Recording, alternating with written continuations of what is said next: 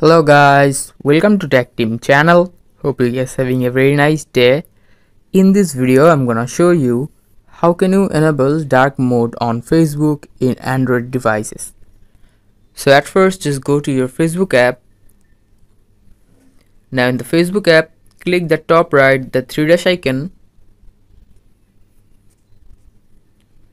Now after clicking the three dash icon, just scroll down and here you can see settings and privacy just click on it.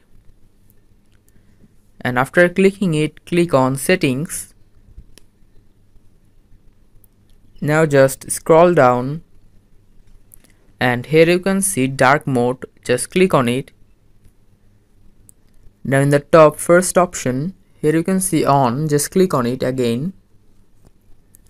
And by this you can just turn on dark mode on Facebook so guys that's how you can do it.